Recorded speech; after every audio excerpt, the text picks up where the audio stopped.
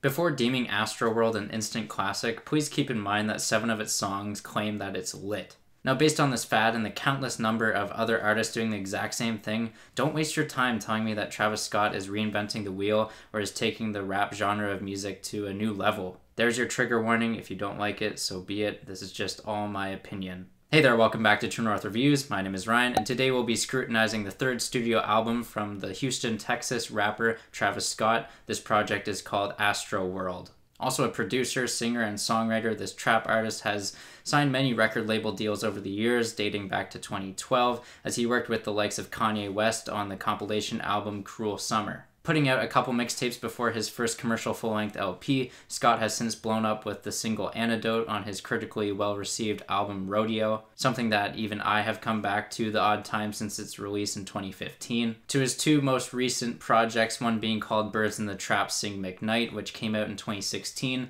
and the other being a collaborative record with Quavo from Migos released last year. Travis Scott has been on the rise with fame for a multitude of reasons his record labels, his collaborations with stars like Drake Drake, and even his partner Kylie Jenner have sparked people's interest heading into his newest release. And with this newest record, we have an interesting concept to go along with it. Being from Houston, one of Travis Scott's favorite places to go as a child was Six Flags Astroworld, an amusement park that opened in the late 1960s before closing down in 2005 in order to start a development project for apartment buildings, which had numerous delays. Being frustrated with this, Scott understandably wanted to make an album that would be a follow up to his debut, Rodeo, something that would be a response to Astroworld being shut down, and with this, I had expectations for a project that would live up to Scott's word. Sonically remaining trapped with a bit more of a spacey vibe to it, Astroworld opens up with the track Stargazing. Being thrown into a drug induced trance, Travis kicks off the album with an introspective, hard hitting beat before switching it up with an even harder flow with the double entendres of the gold from the Los Angeles Lakers Kobe Bryant and jumping up like Moby Dick, you know, like the novel by Herman Melville, but also the electronic artist Moby. It's quite clever. Definitely one of the stronger tracks on the album. Stargazing, along with the transition in the middle of the song, may catch you off guard at some points through the first couple listens, but its unpredictability plays into the theme and concept of the album since the kids had their amusement park unwillingly torn away from them. The second song delves into the long list of star studded features on the album, and first up is Frank Ocean. And on the song Carousel, Ocean's smooth and angelic like voice is the mainstay for this song, but outside this, it's over before you can really get into the beat and the composition. But hey, I saw that the next track was a bit longer when listening to the album, clocking in over just five minutes, so I definitely thought that this one would be flushed out for a more consistent instrumental and flow, but it's actually broken into three parts and a multitude of interludes that make the song feel like it's biting off more than it could chew. And the song that I'm referring to here is called Sicko Mode. It features Drake and Swae Lee. And don't get me wrong, there's a lot of hype and high energy trap percussion and bass on this track.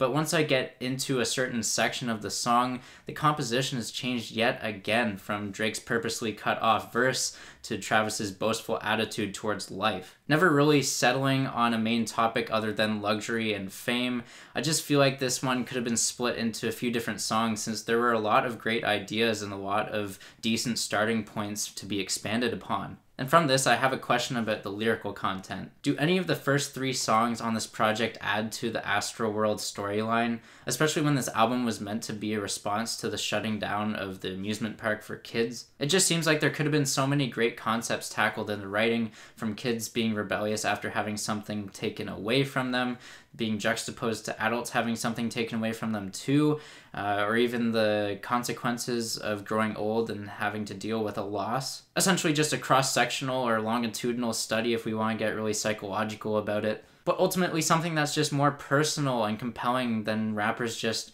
bragging about their wealth. It's not relatable to the majority of the casual listeners out there, and it's not like Scott hasn't covered these topics in his older material either. Putting those criticisms aside, I do admire the transitions between tracks on this album, regardless of how boring the vocal performances may be. This is notable between the tracks Sicko Mode and Rest in Peace Screw, and then Rest in Peace Screw to the next track, Stop Trying to Be God. Like, seriously, these transitions are some of the best I've heard this year, offering and gradual energy changes, making the album very dynamic. And it's on that latter track that I mentioned there, Stop Trying to Be God, that Kid Cudi pitches in with his usual layered hums. But instead of the high quality humming that we get from Kid Cudi on Kids See Ghost from earlier this year, um, Cudi kind of just unfortunately goes back and resorts to his terrible quality on Birds in the Trap, almost sounding like his humming at this point could be just a novelty on this track. Outside of this, we get James Blake delivering a soulful bridge over top of a sulky organ chord progression, being the highlight for this song. Overall, Stop Trying to Be God is a great track for its instrumentals and lyrical content, tackling the God complex and narcissism, but it's the vocal melodies and performances that really lack the conviction behind this track. The next two cuts are probably the most uneventful ones on this entire project, never really capitalizing on the feature's talent. Really, how can you have Pharrell Williams, The Weeknd, and Kevin Parker from Tame Impala be just as lackluster as the up and coming SoundCloud artists of Juice WRLD and Sheck Wes, who, by the way, just signed to Travis Scott's record label? Don't answer that, it's rhetorical. Okay, so on to the next track, which is called Wake Up. The Weeknd gets a chance to shine as the lone feature on this one, but he still does his usual alcohol, sex, and car references that are just painful to listen to no matter how great of a vocalist he is. I just feel like he's done this way too many times before on his own solo material that I'm sick of it by now. And yeah, Travis Scott and Abel Tesfaye might be on the same page lyrically, but this is just generic and uninteresting. It's a slight improvement over their last collaboration on Birds in the Trap, fortunately, but nothing worth your time or anything special. The next song, 5% Tint, has ominous keyboard riffs stealing the show, as well as the feeling of being shot out into space at the end of the track, which is a very chilling atmosphere being created here. One of the better tracks on this album that conceptually connects to the record's name. Instrumentally, this aura deepens with the interlude kind of track Astrothunder, as well as the guitars in the intro of Yosemite, the former being produced with the help of John Mayer of all people actually a big surprise and accomplishment. Moreover, yes, instrumentally, this album is on the nose with its spacey and dreamlike vibes, but it's unfortunately the underwhelming vocal performances and repetitive references to the drugs that fail to push the envelope to a point where the remaining features on this project seemingly battle each other out for the most melodically flat and lifeless presentation. It honestly feels like Travis Scott told the other artists to stagnate and remain boring so he could barely outdo them in his own tedious contributions to the album. And one of those artists that chip in with a boring verse here at the end of the project is 21 Savage on a track called NC17. And this one here is as almost bland and boring and drab as 21's last feature on Birds in the Trap at least the production is a little bit better for his voice, but the minimalist dark instrumental doesn't really suit him well for this track. It's going to be hard for him to really match his best feature on Post Malone's song Rockstar, I feel, at least in my opinion. Next up, we get the platinum single Butterfly Effect.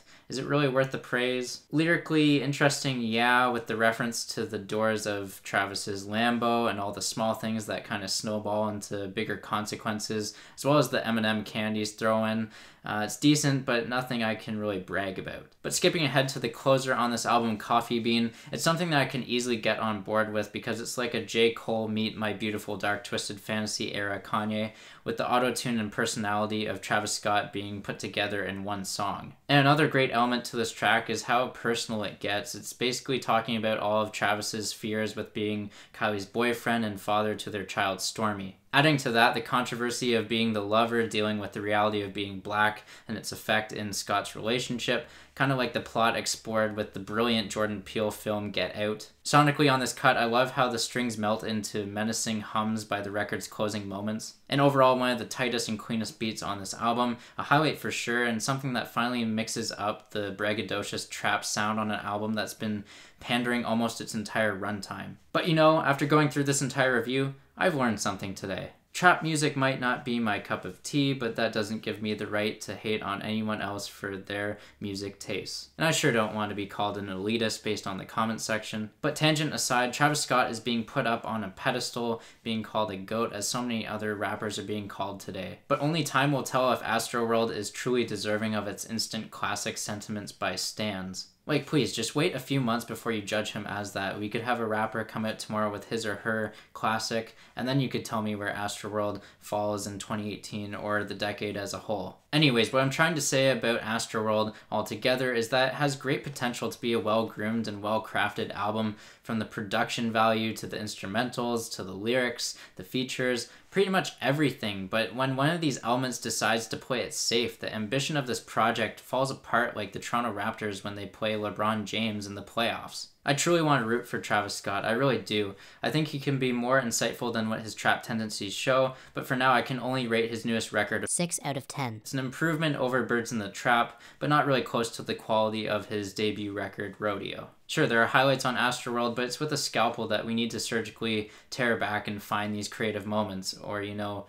just listen to it passively and you should be fine. Just don't listen to the lyrics too hard, because after all, it is trap music. So those are my thoughts on Astroworld. Now I want to hear from you. Sound off down below in the comments. Let me know what you're thinking. Agree or disagree. I'm here to engage with you guys. Like, comment, subscribe, and share. My name is Ryan from True North Reviews. And as always, have a rockin' day. Thanks for watching.